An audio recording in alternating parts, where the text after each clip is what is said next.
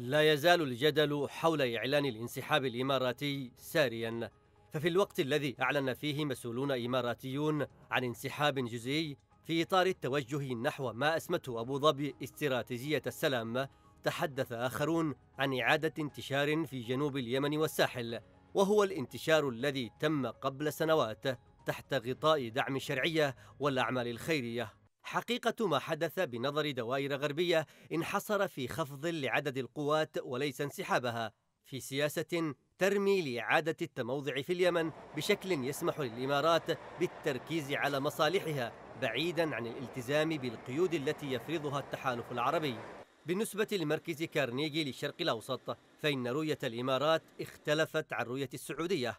فلم تعد مهتمة بإضعاف الحوثيين وتحسين أمن حدود الرياض وتستطيع الآن المناورة بحرية عبر قوى محلية تتحرك بالوكالة عنها في المناطق الساحلية والجنوبية.